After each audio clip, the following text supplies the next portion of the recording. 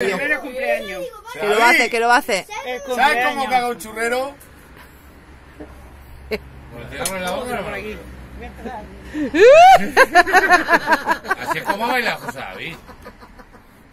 Claro, haciendo la forma de, de la No, Ya.